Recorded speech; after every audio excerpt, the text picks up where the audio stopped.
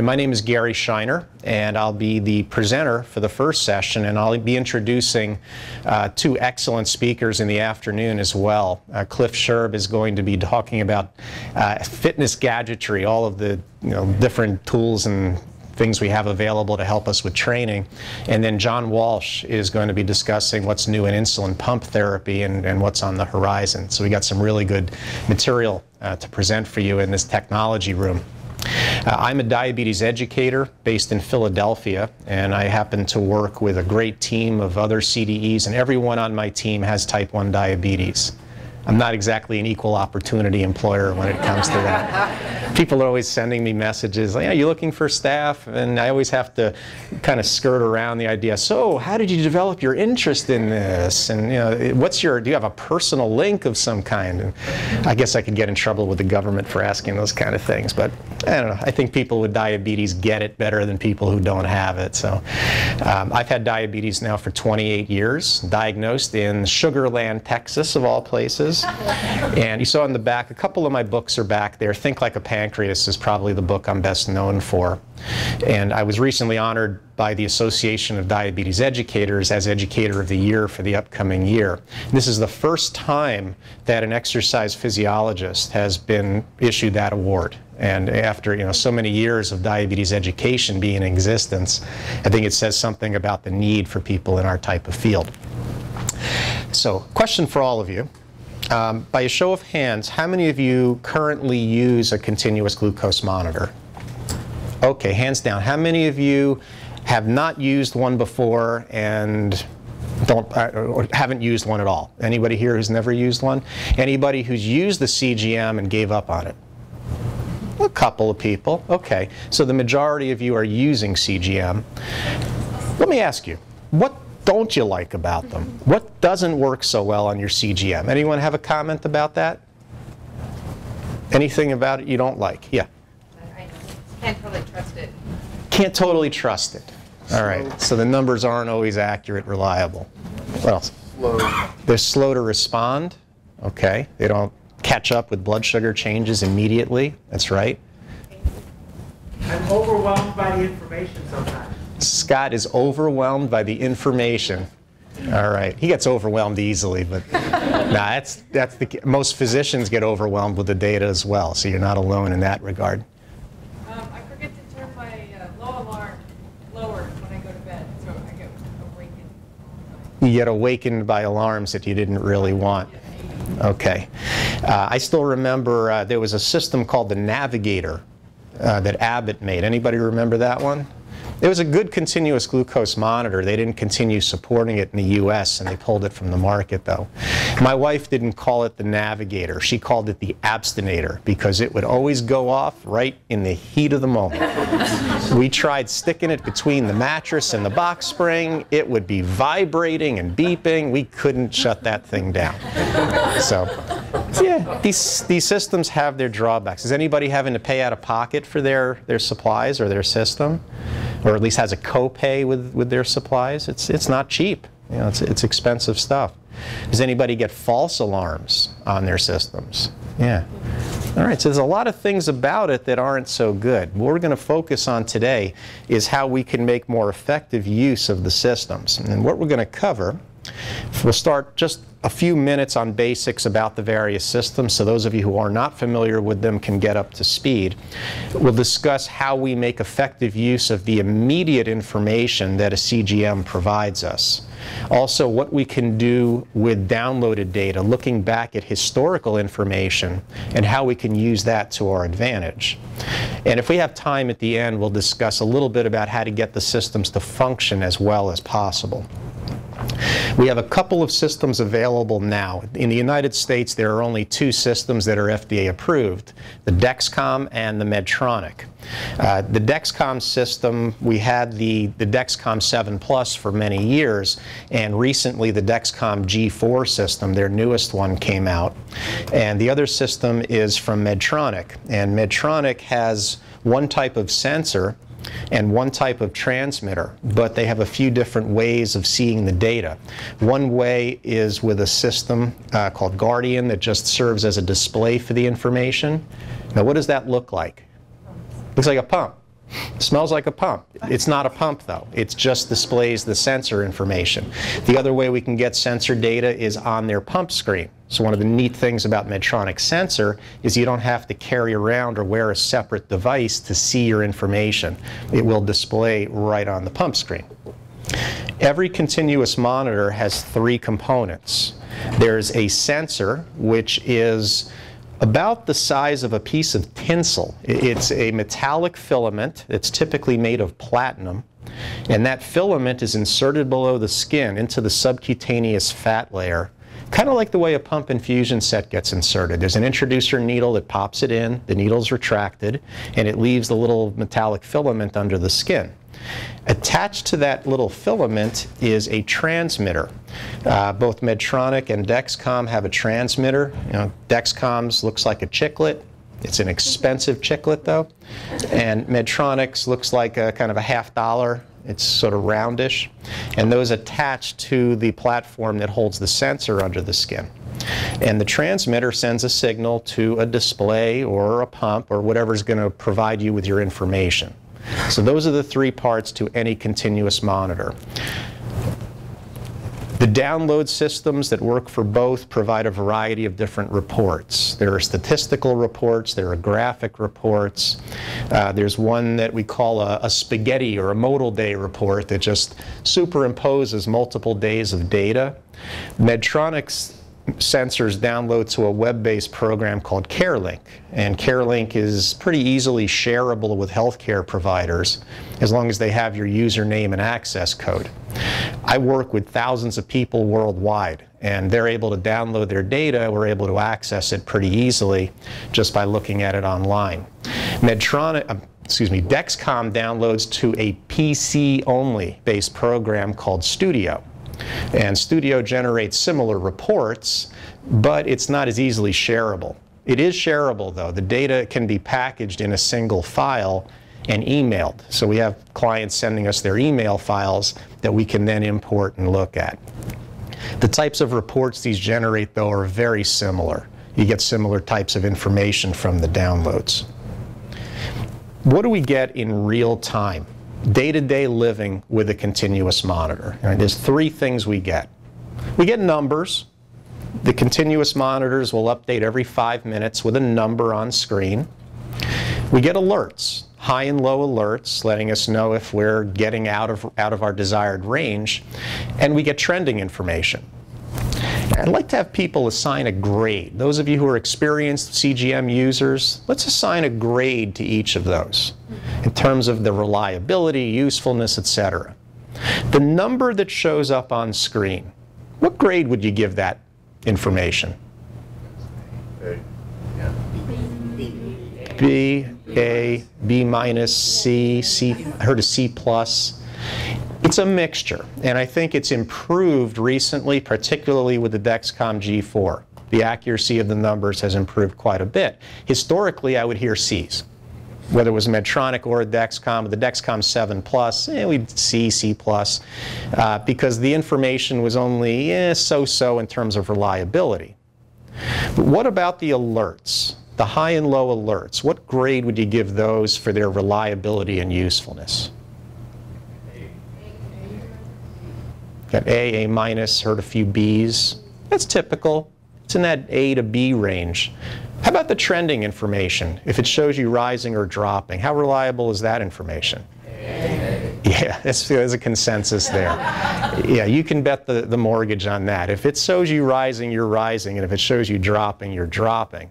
Because the sensor data is just relevant, it's related to the previous set of five minutes of data that it collected. If the signal coming from that sensor is going up, your sugar's rising. You can bet on that.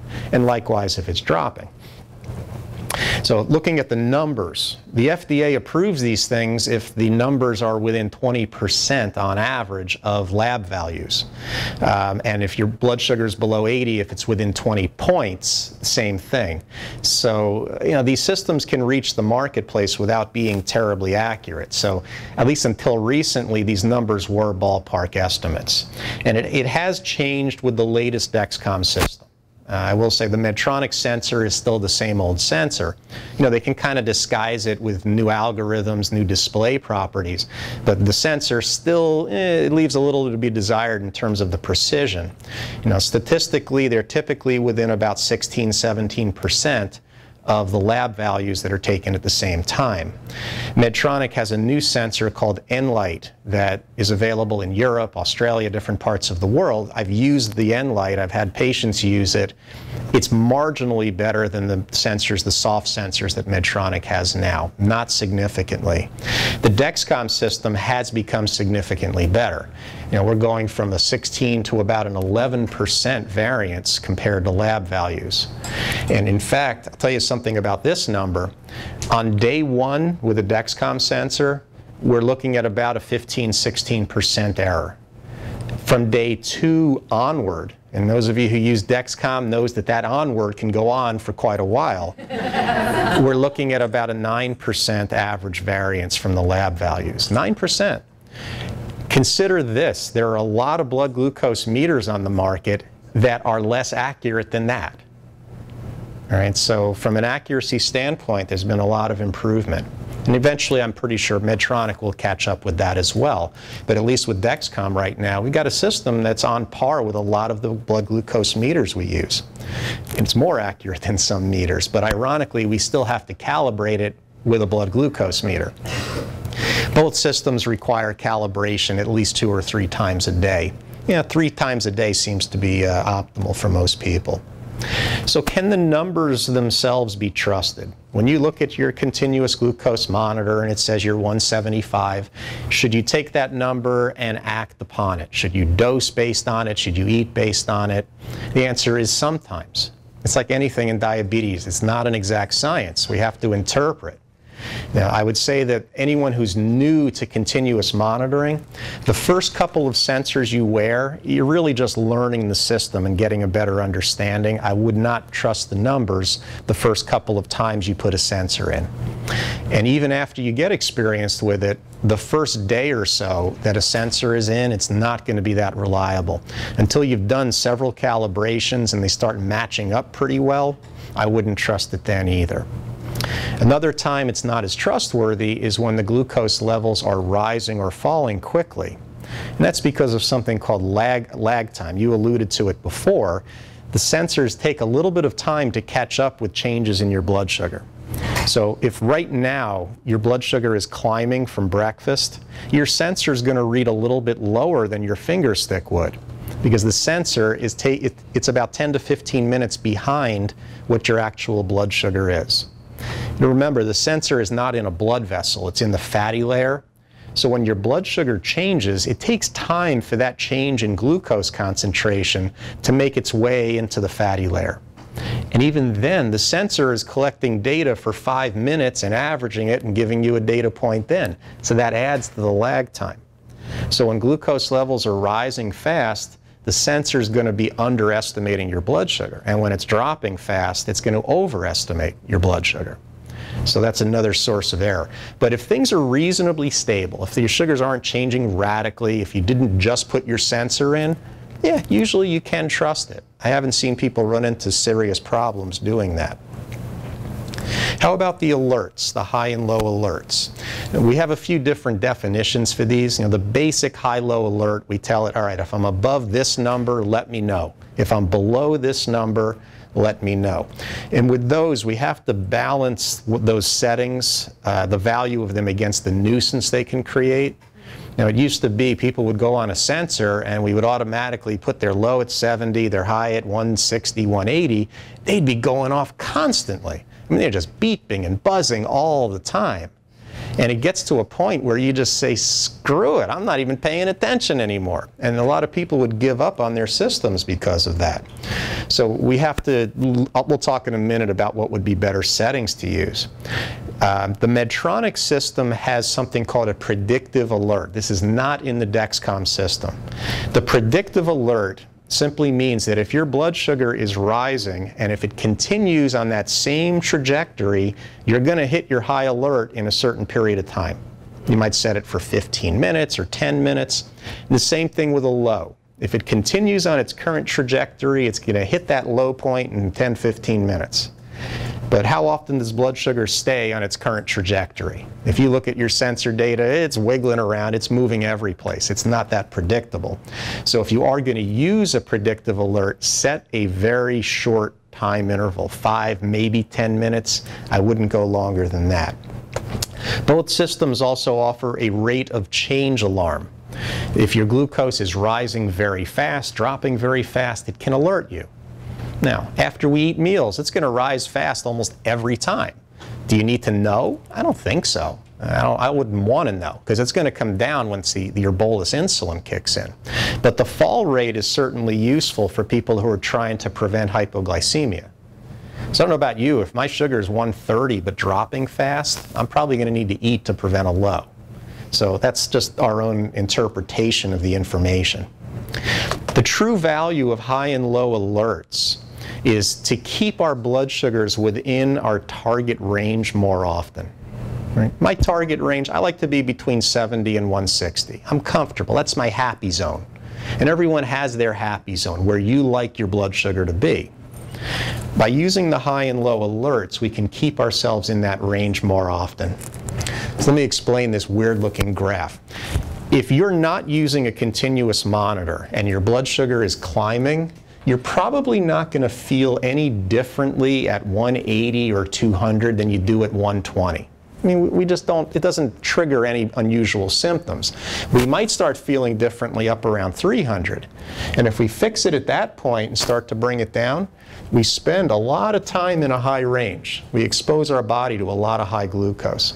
But if we're using a sensor that alerts us at, say, 200, and we fix it then, we spend less time in a high range. I think of it as turning mountains into molehills. You're exposing your body to far less high glucose. And the same principle applies at low levels. How many of you feel blood sugars that are 70? Maybe 10%. Right? How many of you feel blood sugars that are 60? Maybe 25%? 50? About half. I mean, this, this is an audience particularly prone to this. Probably everyone in this room has some degree of hypoglycemia unawareness. We don't feel our lows until they're really, really, really low. And even then, the symptoms are not usually the shaking, sweating type symptoms. It's more cognitive. Our brain's just not functioning right. We're behaving strangely. We feel funny. So that's the value here if you wait until you feel low, you're probably 42, and you fix it, you end up spending a lot of time in a low range, and that's dangerous. The research has shown that you're more likely to have a severe low, where you lose consciousness or have a seizure, if you spend a long time in a low range. You could drop to 40, come right back up, you'll be fine. You could drop to 60. If you stay there a few hours, there's a good chance you'll lose consciousness from that. It's the length of the low that's dangerous, not necessarily how low you get. It's the whole idea here. We're reducing the magnitude and duration of the time we spend out of range when we use the high and low alerts. Or I think of it like bumper blood sugars. Anyone been bowling and see they put the bumpers up sometimes for the kids or maybe the adults? I don't know. it, what happens is before the ball goes in the gutter, it bounces off and keeps going. And that's kind of like what you can do with a sensor. Instead of going up to 300 and down to 40, maybe you go up to 180 or 200 and then bounce off. Maybe go down to 80 or 70 and bounce off. You keep yourself on the alley or you keep yourself in your target zone a lot more of the time. And look how happy that kid is. You could be that way too. However, if you're using high and low alerts, it's very important that you respond to them. They're there for a reason. If you just say, all right, I'm high or I'm low and don't act on it, it's not, you're not doing any good. So when you get those alerts, say if you're using the Medtronic system, I would recommend doing a finger stick. If you're doing it using a Dexcom system and it's been working well and it's calibrating well, act on that number. Either bolus if you're high or take a snack if it's dropping low. Ideally, you'll take insulin on board into account, and most pumps nowadays do that. How many here are on injections? All right, a decent number, maybe 15, 20%. You can learn how to, use, how to calculate your own insulin on board. There's a few ways to do that. You can just calculate it you know, manually, figuring a certain percentage of your insulin is used up per hour. And there's an app called Pancreum uh, that does that as well. But you know, that, that's, that's important. If you're going to act on high readings between meals, you have to consider the insulin that's still working from the previous meal. And this proven benefit of the, having the low alert feature turned on, and this was done 10 years ago with older systems that were much less accurate than what we have now. But what they found is that the time people spend in a hypoglycemic range is cut in half when they get the alert that they're low as soon as they hit 70 in this case. So by doing that, you spend half as much time in a hypoglycemic range. Otherwise, you're waiting until you feel low and then you act on it. You end up spending a lot more time low. The chances of losing consciousness or having a seizure go way up.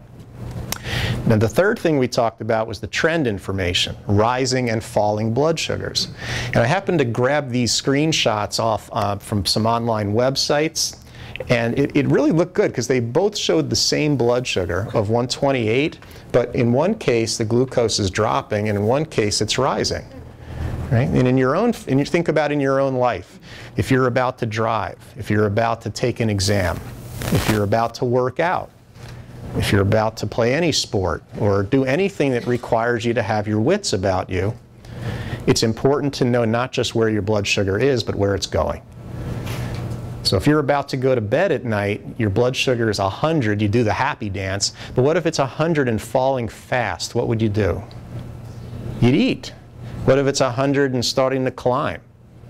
Now, you might check it again a little while later, but you would act differently. You know, knowing if you're rising or falling does make a big difference.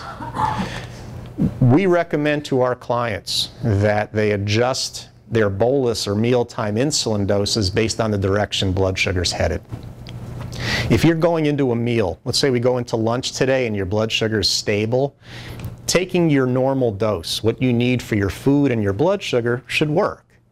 But if you're going into lunch and your blood sugar is dropping pretty quickly, and you take the dose for that blood sugar at that moment in time and the food you're eating, you're probably going to wind up too low within the next few hours. Likewise, if you're going up and you take your standard dose, you're going to wind up higher than you wanted to be in a few hours. So what we recommend is adjusting the bolus doses just a little bit based on the direction blood sugars are headed. Pumps don't know this. They don't know what direction you're going. Only you know this from your continuous monitor. So you could add, and I base it on the number of arrows on screen. Both Medtronic and Dexcom show trend arrows. Know, one up arrow means you're rising at a reasonably fast pace. Two up arrows, you're rising very quickly. So tack on enough insulin to offset about a 25 point rise if you got one up arrow, and enough to offset a 50 point rise if you have two up arrows. So let's say your correction factor is 30. One unit drops you 30 points. If you got one up arrow, you might want to add about 0.7 or 0.8. If you got two up arrows, you'd add, what, about 1.6, 1.7. So you can individualize that based on your own situation. And again, if you're dropping, deduct the insulin. Take away enough insulin to offset that much of a drop. That will put you in your target range more often. Mathematically, it works very nicely, and in real life, it works nicely too. Another way we can use trending information is in how we treat our lows. We all know we, there are lows and there are lows. We've had lows that don't want to come up. And those are the kind of lows that are not only low, but they're accelerating downward. We must have a lot of insulin on board that's still dropping us quickly, or our body is very sensitive to insulin, maybe from exercise. So in cases like that, we have to treat the low more aggressively. We need more food, and we got to make sure we're using food that works very, very quickly. But then there are cases like this where we're just mildly low, maybe something we ate earlier is just starting to digest. A case like this, we can be much more conservative in our treatment of a low. We can use less food and we may not need to use something that works very, very fast. Just a small amount of carbs might be all that's needed.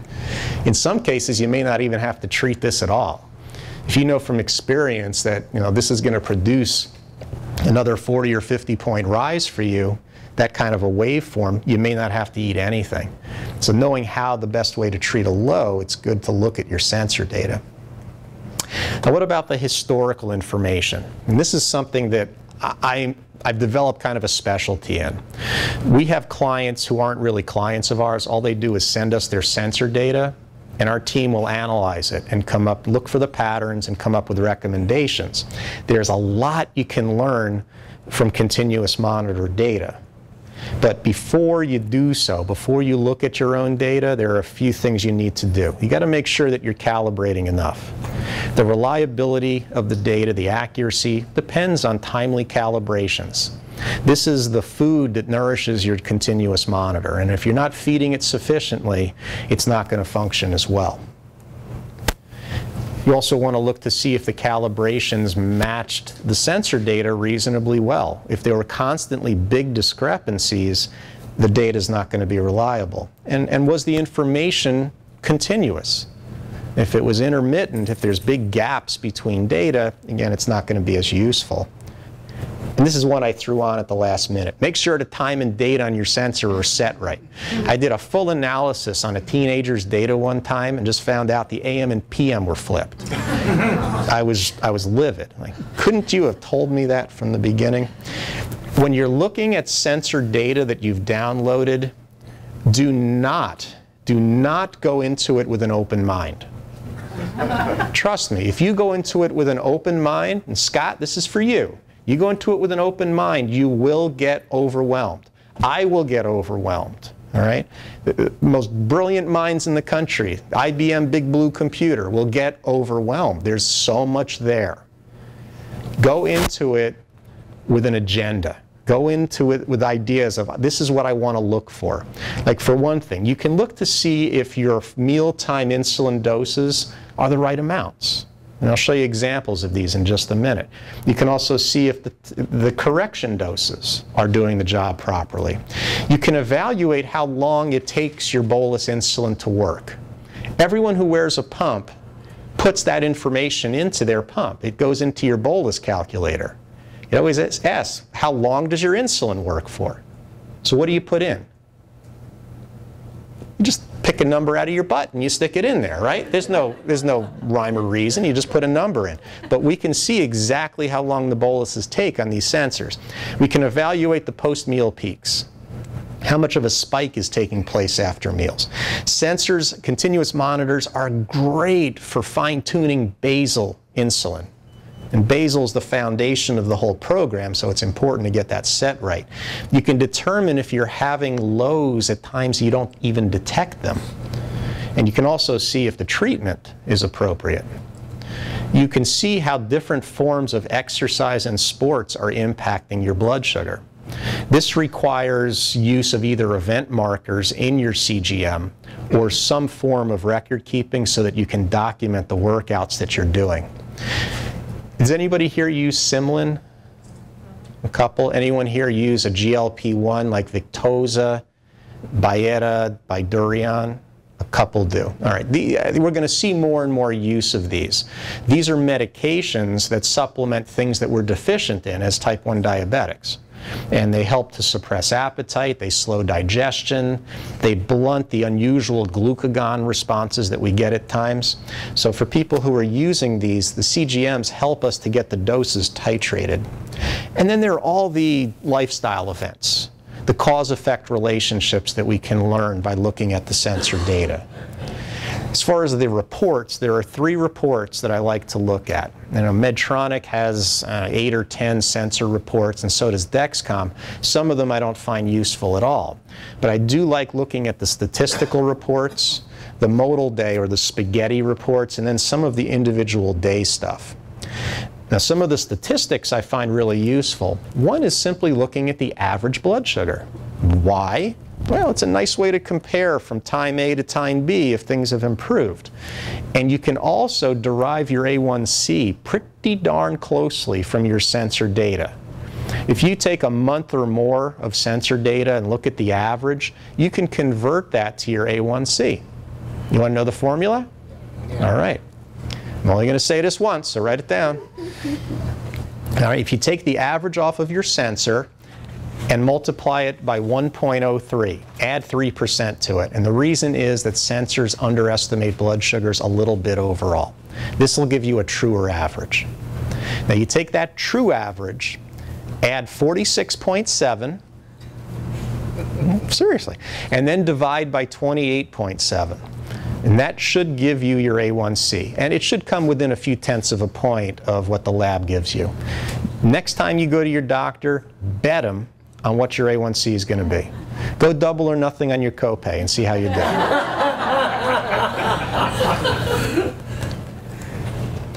well, a1C and average blood sugar are statistics, and you can lie with statistics. You can be very misleading.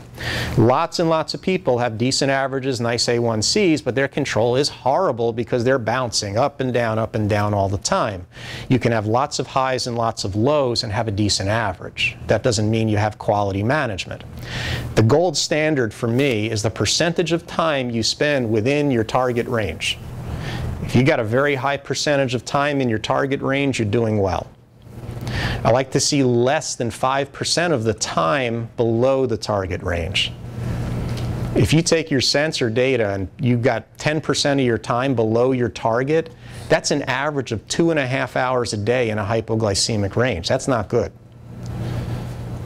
And for most people, if we can get 70, 75% of the time in range, that's pretty nice you can beat that, you're really doing a good job. As far as variability, two numbers we look at are standard deviation, which the systems will give you, and something called coefficient of variance. That's simply your standard deviation divided by your average. So if your average is 150 and your standard deviation is 75, that means your coefficient of variance is 50%. I like the coefficient of variance to be less than a third of the average. That means the blood sugars are fairly stable. You're not hitting extreme highs and lows very often. Things are in the middle most of the time. You can also get a, a, readout of the number of times you've gone above and below your target thresholds. And just quantifying those from week to week, month to month, uh, it allows you to track your progress, particularly the lows. Now, how many times did you go below your low threshold in a week or a month and see how that compares to the last time you looked at it? So let's look at a few case studies. This is a type 1 patient who's on multiple injection therapy, only checking their blood a couple of times a day. And they have pretty decent fasting readings, but their A1C is elevated, and that's because they're just missing the rest of the day. The sensor is a very good way of showing what's going on the rest of the day. We got pretty high blood sugars going on after breakfast. We got a snack in the afternoon it's producing highs before dinner. And we got highs after dinner as well. So this person probably needs to be doing a better job matching their insulin to their food at breakfast, at snack, and at dinner. Lunch doesn't look like much of a problem. They tend to come down to normal, maybe even a little low around that 3, 4 o'clock time frame. Here's a 34-year-old pump user. In the morning, they're covering their breakfast and their blood sugar with a bolus. Same thing at lunchtime. Same thing at dinner. Now the breakfast and lunch doses are clearly too low. They're not getting enough insulin to cover what they're eating because all that dose is doing is holding them steady. The extra insulin they're giving for the high reading is just barely covering what the food is. So they need more insulin to cover breakfast and lunch. If they're doing a carb ratio of 1 to 10, maybe they need a 1 unit per 8 or 1 unit per 7 grams at breakfast and lunch. But what about dinner? Dinner's working. And there's one thing in diabetes that we know, if it ain't broke, we don't mess with it. There's enough that we can adjust. The dinner dose here is working very nicely. And then we've got a night snack where the problems are starting all over again. Now, interestingly, look what's going on at night. This person has blood sugar in the low to mid 200s straight through the night. What does that mean about their basal insulin at night? Too low. Hmm. I'm not going to answer it. We're going to talk about that later. Here's a five-year-old boy on multiple injection therapy. He's using Levemir twice a day and gets mealtime insulin. Overall, not doing too badly, but in the evening, we've got a problem. After dinner, we got lots of low blood sugar. Now, the sensor readouts put each day in a different color. So all I have to do is count the number of colors I see down here, and I know how many days he had a low. We got a green, an orange, a blue, a red, there's a yellow. So we got five out of seven days this kid was low after dinner. So clearly there's a need to reduce the dinner time insulin. Uh, here's a teenager that stays up kind of late playing video games, watching TV, and the blood sugar in the evening is going up pretty high. And, and this, there are a host of things that could be causing that. Most likely there's some snacking going on at night, kind of grazing right through the evening. So we need to talk to this kid about structuring the snacks a little bit better, or at least covering what he's eating with an appropriate dose of insulin. Now here's a correction dose gone awry. Middle of the night, somebody woke up, or maybe their sensor alerted them that their blood sugar was over 250, so they corrected, and by the morning, their blood sugar was down to 60. How many of you find that a correction dose brings you down more at nighttime than it does during the day? I see that in uh, almost two thirds of the clients I work with. It does it for me. I assume a unit during the day will drop me 40, but if I do that at night, I'll be low. I have to assume a 60 point drop at night. And it has to do with the interplay of hormone levels while we're sleeping. But a lot of people need a more conservative correction formula at nighttime than they use during the day, and this is, that's the case for this person as well. Well, what about the post-meal blood sugars? Most of us don't do finger sticks an hour, hour and a half after we eat. That's usually when blood sugars hit their high point, 60 to 90 minutes post-meal. So this was a young adult with type 1 and had pretty decent blood sugar going into meals, but they were topping out in the 300 range after meals on a consistent basis, and, and that's not good. There are a lot of problems that post-meal spikes cause for us you know, not just affecting A1C levels, but how we feel and how we perform on a daily basis. You know what it feels like. It just doesn't feel good to be going up and then plummeting and up and plummeting. You know, half the time you feel tired, half the time you feel like you're low. It's not a good way to be. And there's growing evidence that variability like this has a detrimental effect on our blood vessels. So there's an emphasis now on trying to stabilize blood sugars more often. So we got peak, peak, peak. What's something that could be done to fix this? Anyone have an idea? Paul? I just, uh, back a little bit, I was going to say, what about Symlin?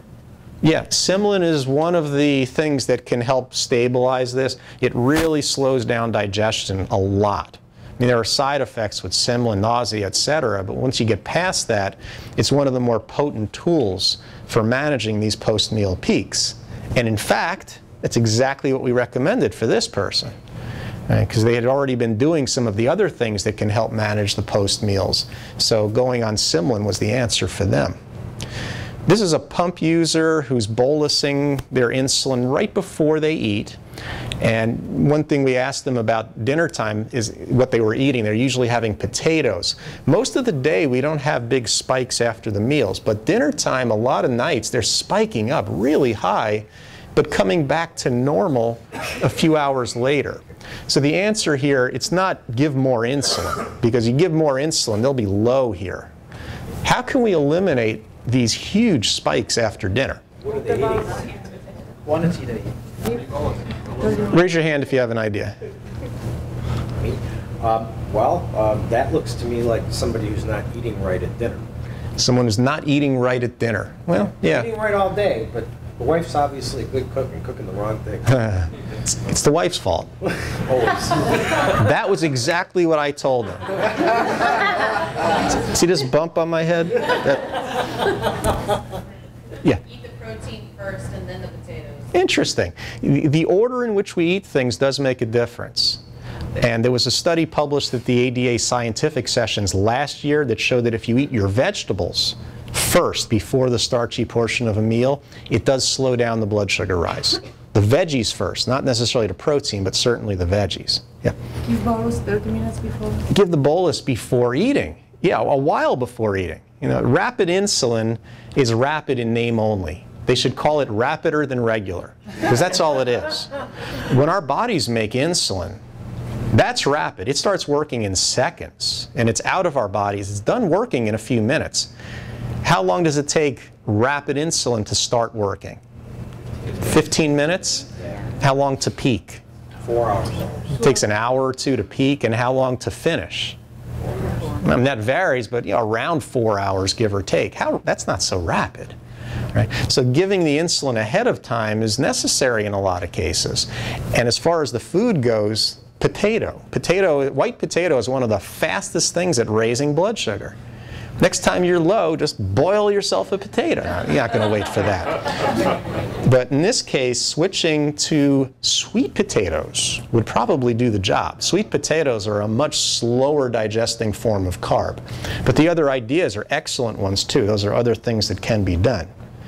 This is a woman who's six months pregnant. During pregnancy, we have to be really, really tight about post-meal sugars. We try to keep them under 140 at the peak, at the high point. That's not easy. She's having issues at breakfast primarily. Rest of the day, she's in her zone. But after breakfast, we got a lot of peaks into the 200s. Now, we're not going to be using any of the other medications. So what we're trying to do with her is have her split her breakfast. The insulin we're taking takes hours to work. There's no rule that says when you eat your breakfast, you have to eat it all at once. You can have a portion of it at breakfast time and have the rest of it at mid-morning. The insulin is still working during that time. And that's a very effective tool for flattening out the post-meal blood sugar levels.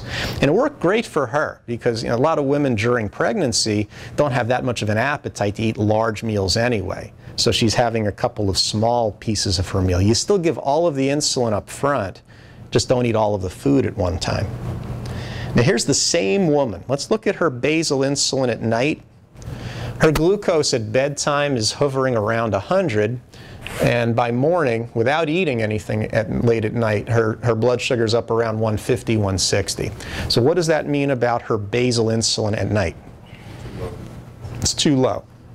Basal insulin has one job, one job, and that's to keep the blood sugar stable when there's nothing else affecting it. If there's no bolus working, no food digesting, and no exercise, basal should keep you steady. So thinking back, earlier on I showed you that person with high sugars all night long. They were around 200 straight through the night. What, what do you think now about that person's basal insulin at night? It's actually fine. It's holding steady. That's basal's job. We use boluses to get the sugar where we want it. We use basal to keep it there. So the, the bolus they were taking in the evening was the problem, not the basal. So in her case, with her glucose rising from 1 a.m. until about 6, we would need to raise her basal starting a couple of hours ahead.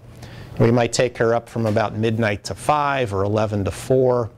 Um, it takes an hour or two for basal changes to start influencing the blood sugars.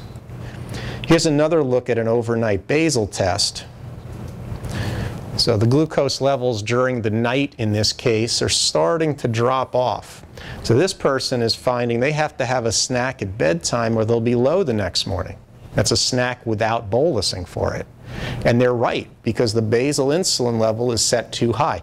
And this is someone who's not on a pump, they're taking Lantus. But when you use Lantus or Levemir, you're taking basal insulin and you need to get it fine-tuned. The sensor is a great way to do that. If things are not stable overnight, the doses need to be adjusted. Here's somebody on a pump who was having a drop in their blood sugar between about 3 and 6 in the morning. And interestingly, another drop between 3 and 6 in the afternoon. 3 to 6 is just a bad time for this person. But the basal insulin levels leading up to those time frames look like they need adjustment. So the middle of the night, middle of the afternoon basal settings are probably a little bit too high. All right, now let's talk about this insulin action curve. I asked before how many of you, you know, what do you set? How many hours did you set that for in your pump? Four. Four? Anyone else? Three? three and a half. They usually get a range anywhere from two to five hours that people set for that. Four is probably the most common setting. The question is, how do you really know what it is? You know, everybody metabolizes insulin at a different rate. You know, you're, you're, you have enzymes in your bloodstream that break it down, your kidneys eliminate it. Everyone breaks down insulin a little bit differently. So if you were to give yourself a correction bolus and kind of watch the curve or look at it the next morning, you'll see how long it took for that blood sugar to level off again and stop dropping. So in this case, we had about a three hour duration of action. This one, we had about a four hour duration. Now this is one that was done over a meal. My preference is to do these on just the correction dose, but you can do it over a meal.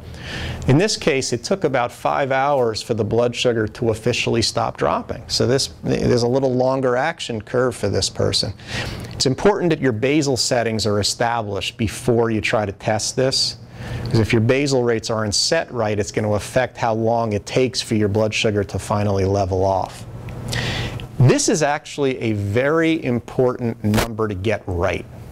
You know, John Walsh may talk with you a little more about this later. If you underestimate how long it takes for your insulin to work, let's say it really takes five hours and you put in three. Your pump is going to constantly underestimate how much insulin on board you have. And it's going to overdose you. And you're going to have low after low after low as a result.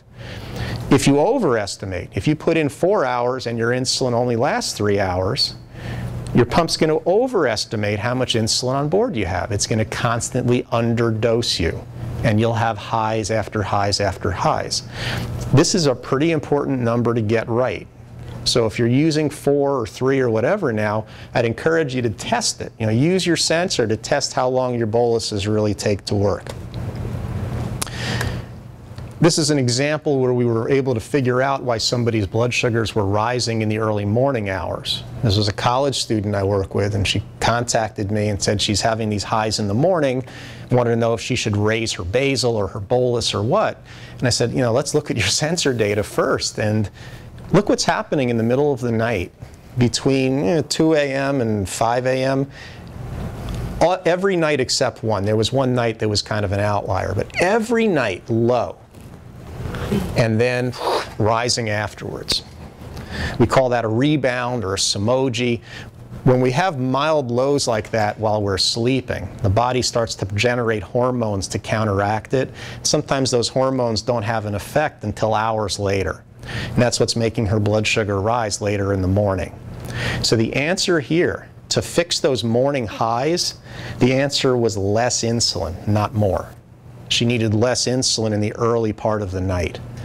And I don't remember offhand if it was a snack bolus that we reduced or if it was her basal in the early part of the night. But cutting back on the insulin is the solution. Uh, this is a guy who was starting to use Symlin at meal times to try to control his post-meal peaks. And you can see this was when he was on a very low dose. Uh, the sensor is a great way to figure out what dose is going to work. Now before I show you the, the, the dose that worked, I don't want you to get the thought that everyone who uses Symlin gets control like this, but he had really nice control. When we got him up to 60 micrograms, his post-meal peaks were almost non-existent. Right, so that's, that's not normal, trust me. and I don't want you to think I have numbers even close to this. Mine bounce around like the top graph almost all the time. Uh, but that was nice to be able to achieve something like that. Now, we also had people who love to experiment. You know who you are. You like to try things and see what works. This was somebody who decided, all right, three days in a row, I'm going to have the same amount of carb, but different types of food and see what the pattern looks like. You can see the difference it makes. The, the yogurt, the blue line, it was almost flat. Yogurt's a very low glycemic index food. It's got carbs, but they digest very, very slowly. So the insulin is able to cover it much better. Uh, the oatmeal caused a little bit slower rise than the cereal. The cereal is the one that spiked the most. That caused the biggest post-meal peak. So it just it tells you what kind of foods are going to give you better after-meal control. And this shows the response that we sometimes have to stress. This was a guy in his 40s, good looking guy, good speaker. And he was on his way to a meeting. He was late for the meeting, got a flat tire on the way to the meeting, took a small snack, found out the spare was flat too. So you can see the blood sugar rise was about 300 points from that stressful event. Stress is powerful. You've probably seen this yourselves, but to quantify it like that is special. You really learn that stress can impact your blood sugars this much. So you try to learn techniques and strategies for minimizing your stress response. We can't avoid stress, but the way we respond to it, we do have a little bit more control over that. This was an interesting look at different forms of exercise. This was a guy whose basal settings had been established very nicely. And it showed on a night he did a, a light workout from, you know, from midnight until 8 a.m., his blood sugars were relatively flat. That was after he did a light workout the night before. But some nights he would do, he called his double death workout. He really worked hard. And what he was having happen is on those nights his blood sugar would start to drop when he slept. And we call that delayed onset hypoglycemia. Uh, Sheri Colberg will be talking about managing lows and preventing them. That's part of the discussion. But what could he do to prevent that kind of delayed drop in his blood sugar after the double death workouts? Temp basal rate of 50%. lower the basal. I love this group because a lot of times I'll present to a group and someone will raise his hand and say, hey, you just shouldn't work out. I'm not going to hear that in this audience. That's great. Yeah, for him being on a pump, he can lower his basal overnight after those hard workouts, which is it's a great way to deal with it. It also helps him keep lean because you know the less insulin you can take, the less fat your body stores. So that's an ideal solution for him. If he wasn't on a pump, what could we do? Give less of that. You could give less of your long-acting basal insulin, the Lantus or the Levemir, which would probably work. The, the trouble with that is now for 24 hours, you've messed up your insulin dosing. What else could you do? A little bit of carb. What if you split the dose? Split which dose? Uh, so if I'm gonna work out uh, and I'm on pens, then I'll take one at 7 a.m. and one at 7 p.m. and, and take a different amount. Yeah. Some people find, especially with Levemir, which is a little shorter acting, that if they take two different doses of it, the night dose really is mainly working overnight. So yeah, somebody who's doing that could lower the evening dose of their long acting. But you also mentioned, yeah, have some carbs. You can eat something at bedtime that's very slow to digest a very low glycemic index thing that'll just give you some slow burning fuel through the night. I'm, personally, I'm not a big fan of these specially formulated low GI bars that they make. I mean, you can have some chocolate at bedtime, it'll do the same thing. you know, milk. Chocolate milk will do the same thing. I mean, you, you can you can use any just about any kind of normal food that's low GI and get that get that effect. Here's one more looking at the delayed effects of just lifestyle activities. The Dexcom software uh, and also the old Navigator software would allow us to section out specific days of the week. So you could look at your all of your Tuesday data on one chart for a month or two months. In this case, we were looking at Saturday night data. This woman had great control in the morning, except Sunday morning. So when we looked at her Saturday night data, she's doing pretty nicely. You, know, you got the one outlier, don't worry about that. But pretty nicely through the evening, and then up right through the night. Only on Saturdays. All right? What do you think did that? Why do you think that happened? Hmm? Alcohol? Alcohol? Could be. Restaurant food. What about restaurant food would do that? You don't know the carbs. High fat. Who said that? Yeah. It's the fat. It's the fat in the meal. Ironically, alcohol would not raise the blood sugar. Alcohol lowers blood sugar in a delayed manner. It suppresses the liver's normal output of glucose. But the fat in those meals will raise the blood sugar. I do a program talking about how to use advanced pump features, and one thing we make very good use of is the temp basal increase for high-fat meals.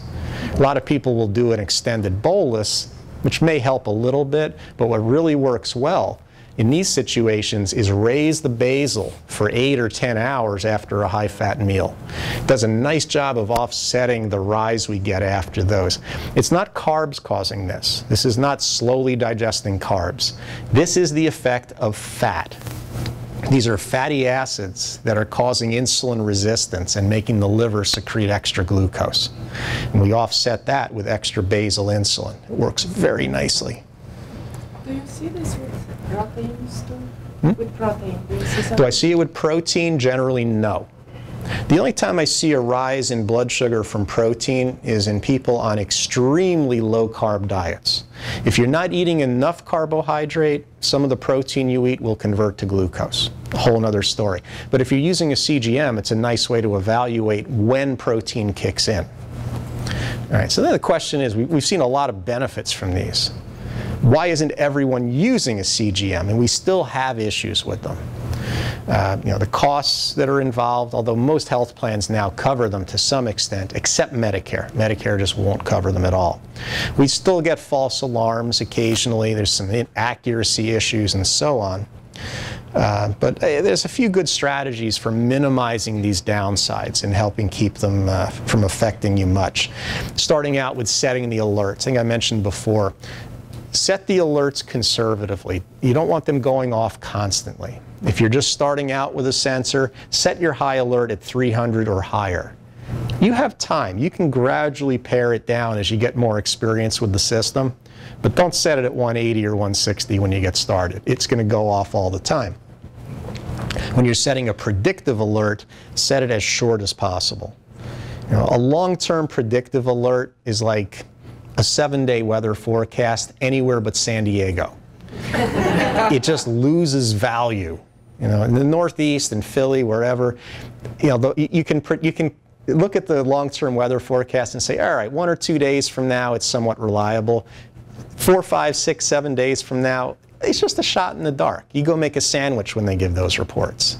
Uh, but so with this, the longer out you're trying to predict that you're going to go high or low, the less accurate it is. Keep that duration short.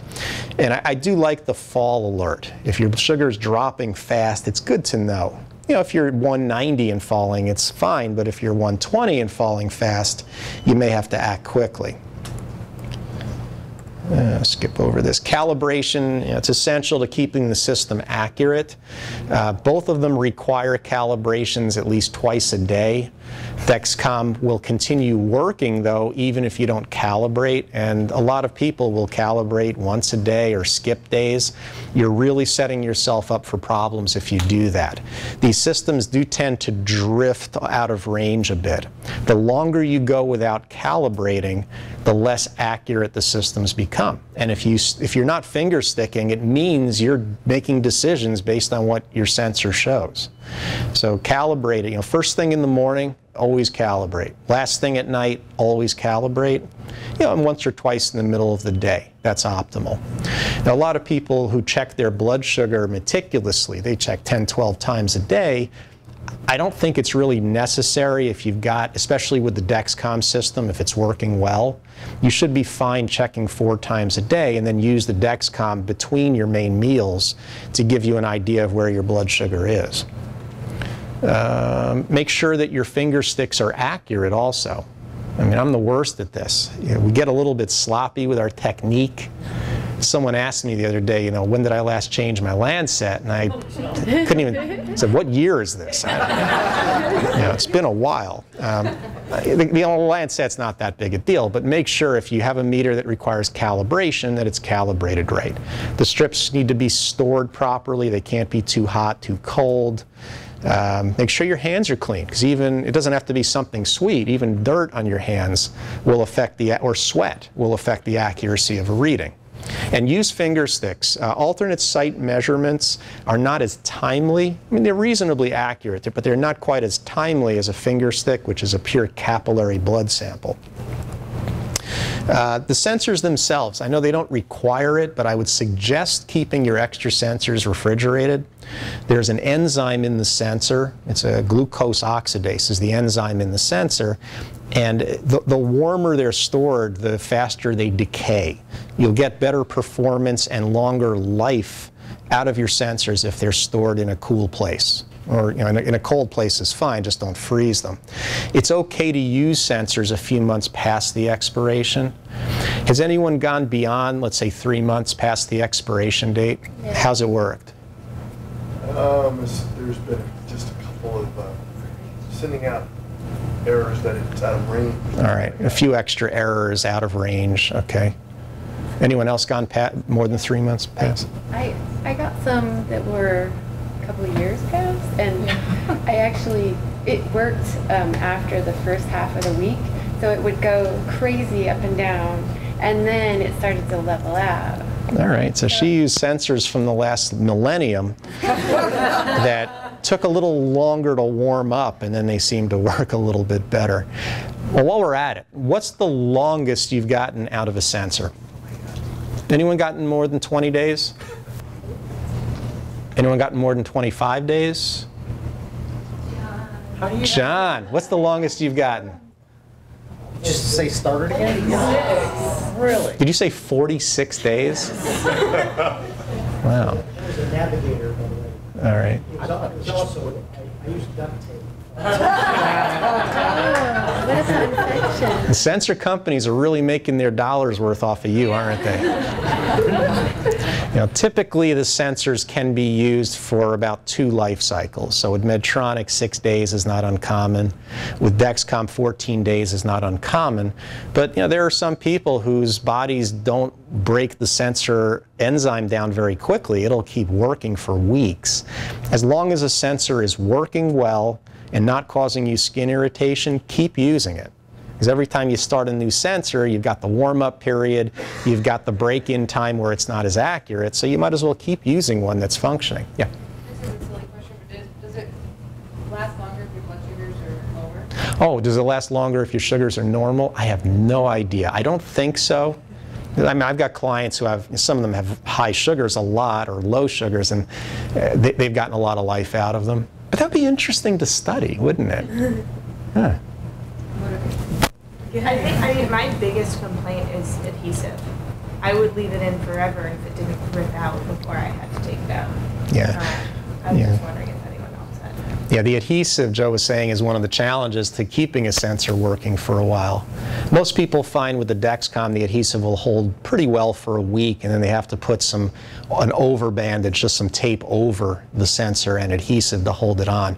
And Medtronic, you have to put extra adhesive on from the get-go, and you may have to put extra tape on you know, the longer that you have it or the more you sweat or if you spend time in the water it tends to loosen up more. I have had some people use uh, a substance called mastisol that they'll put uh, like a, make a, a circle of it on their skin put the sensor through the middle of it and the mastisol will hold will bond the adhesive bandage to the skin very very tightly almost indefinitely. It's very strong stuff Mastisol, M-A-S-T-I-S-O-L. Hmm? Yeah, they make stuff called detachol for removing it. it's pretty strong. Site selection is an issue. Uh, we learned long ago that these sensors work well in flabby parts of the body. This is an audience that doesn't have a lot of flabby parts to their body, so we have to pick our sites carefully. Uh, even though you know, these systems are you know, technically FDA approved for use on the abdomen or the arm. They work fine, just about any body part. So the outer thigh can work well, the upper buttocks, the lower back, any place you can get a little bit of a fat pad, they should work fine. So don't feel like you have to stick with the manufacturer's recommendation for sites. Uh, those still using a Medtronic system, uh, there's something called a wetting time not like marriage wetting. This is wetting, getting wet. The sensor needs a lot of time to get acclimated to being under the skin before it'll start generating reliable data. My recommendation with the Medtronic sensors is put them in your body the night before you actually start using them and linking them to the pump. Uh, that way they have adequate time to you know, get some fluid movement and get working well. You know, I thought about doing that with the Dexcom too. I did it for while. Put it on in the night and then don't press start till the morning. Let it sit. So he uh, put some Dexcom sensors on the night before and hit, you know, start sensor the next morning. Did you see any difference in the sensor performance? It seemed almost exactly the same. Yeah, most people find after two hours they do start to work pretty well. Uh, inserting the sensors, uh, we see a little more bleeding with the Medtronic because it's a larger introducer needle. It's not that common to see bleeding with the Dexcom sensor. A little bit of bleeding is not harmful or dangerous and it won't affect the sensor. Profuse bleeding is a problem though. You know, once in a while, we're like that. We're pin cushions. We hit, uh, we hit a blood vessel once in a while with pump sites, with sensors. And who here has never had a gusher? We all know what those are. It's just bad luck. We just hit a blood vessel when we did that. Um, but if you do get a lot of bleeding, take the sensor out, hold the cloth over it until the bleeding stops. Uh, adhesive we talked about, the signal reception. Now this is interesting. You know, when Dexcom's G4 came out, we knew right away that that was going to help because the transmitter is just so much more powerful. Now you can be 20, 30, 40 feet away from your receiver, it'll still pick up the signal. And that's great for parents of children or for spouses or loved ones because you can have the receiver in another part of the house and it's still picking up a signal. Or you can be on a playing field and someone on the sideline can still see your data. Medtronic doesn't have that kind of power in its transmitter. It, it goes uh, at the most five or six feet. And there are times you could be wearing it, you're two feet from it, and it's still not picking up. So they came up with a system where that picks up the signal and amplifies it. So this would be plugged in, let's say, at your bedside. It amplifies the signal and sends it all over the house, and it the signal picks up on like an alarm clock device. So Medtronic has this at their booth that you can look at if you want. And it really is just an alarm clock. It has a radio receiver, it displays numbers, and it makes noise if there's a problem. It's, a, it's an alarm clock. So if you went to Target, how much would an alarm clock cost? Five bucks, ten bucks, fifteen, twenty. These are two thousand dollars. A lot of medical testing and things that go into it, but you do have that option with theirs. So overall, what we found ingredients for success is the last thing I'll show you. Uh, and this is from discussions I've had with some, some of the better clinicians around the country who do a lot of work with CGM. Go into it with the right expectations. You still need to finger stick. It's got to be calibrated. You got to know when your sensor is reliable and know when it's not and finger stick when it's not. Make sure you're calibrating properly, uh, putting accurate calibration data in in a timely way. That's big, big for improving the performance. When you start using a system, cut down on the nuisance alarms. You know, just use the high alert at a very high level, the low alert at a reasonable level, and that's it. Um, wear it continuously. There are, there's multiple studies that have been done that show that people who use a CGM just once in a while really don't get the same kind of benefits. Uh, people who use them on an ongoing, regular basis, we see better A1Cs, we see fewer bouts of hypoglycemia, and, and reported better quality of life. So that's what it's meant to be used for. When you're wearing one, it's a good idea to look at it maybe once an hour that's good timing. Uh, you don't have to be overly obsessive with it. If you're looking at it constantly and sweating about what's happening and making constant adjustments, you might do more harm than good. And don't ignore it either. You put it on, don't just put it on and not look at it all day long. Uh, react to the data in an intelligent way. particularly when your sugar is elevated and you need more insulin, always take insulin on board into account. And if you're going to make adjustments to your set program, uh, don't base it on one day's events. I wouldn't even base it on two or three days events, as we know how often things change.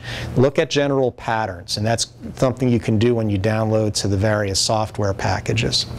And if you do need additional help looking at the info, feel free to get in touch with my practice. We can you know, work with you long distance on that type of thing. I had a few things on the back table. Uh, there's a sign-in sheet if you'd like to get the newsletter that our practice puts out. It's an e-newsletter. Be more than happy to add all of you to the list if you like. Um, There's some information on the coaching services that we offer. And those of you who have not used CGM who want to try one, we have a loaner service. So if you wanted to give one a try, we could set that up.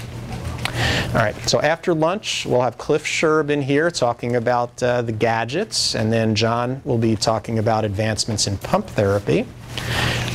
Any other questions? Thank you very much. Yeah. You mentioned that the different finger stick um, devices have different accuracies. In your mind, which one is the more accurate one, especially for those using the new? Great question. Which are the more accurate blood glucose meters? I kind of lump them together. We have older generation, we have newer generation. So the newer generation systems that are among the more accurate ones, uh, the Bayer Contour Next, the Verio from J&J, uh, the Accu-Chek Nano. Those are the three I would put in the, the new generation systems with the best accuracy. Yeah, when you came up with that A1C, that 28.6, what's that number? Oh, where did that, those numbers come from? There, there's a, an equation, it's called an EAG, Estimated Average Glucose based on A1C levels. Right. It's, it's like pi when you're doing geometry, it's just a formula that, that's used to interpret it. Uh, for the pre-fat meal adjustment of the basal, what percentage would you increase it? Oh, Charlie, it, it, it is trial and error. I, I know that if I have a lot of pizza, one slice isn't going to affect things much, but if I eat a lot of pizza, I have to raise my basal by about 60% for the next eight hours. Movie theater popcorn, which is my kryptonite, I can't avoid the stuff. I have to double my basal for the next 12 hours. I get the big bucket with the refill. It's good stuff. And if m- my wife tries to get any, I'm like, "Mm." What would you do if you're on injections? if you're on injections and you need to make adjustments for fat, interestingly, you can go back to using a little bit of NPH to do the same kind of thing. NPH, you know, it's what the not particularly helpful insulin, but it, it, it does have some practical uses, and that's one of them. You take a little bit of NPH to offset the fat in the meal, it does a nice job. Just after, after meal? What about combo bolus? Well, if you're on, she said if you're on injections. Okay. Yeah. Is that a, what is it? That's what you should do. What is NPH? NPH is an older insulin that we had bef- it was it was the long-acting insulin before Lantus and Levemir. It, it has a short, it's about a 10 to 12 hour action to most people, but it's not very consistent and predictable. It's got a mind of its own. Do you think Levemir has a peak? Do I think Levemir has a peak? Absolutely. Yeah. Levemir, and Lantus has a little bit of a peak too. And it, again, it's different from person to person. I don't think there's any injectable insulin that's truly peakless. In some people, it's a more significant peak than others. You just have to try it and see. A question. Um, when you said the the 50 point uh, correction for Mhm. your blood sugar, uh, when you have, is it two arrows going up? Yeah, yeah, yeah. Adjusting for direction arrows, rate of change arrows. If there's two arrows, then adjust for a 50 point blood sugar change, and one arrow, 25. Where did I get that number? I just, it just seems to work. I don't know. Thanks. Good. Okay, thank you all very much. Thank you.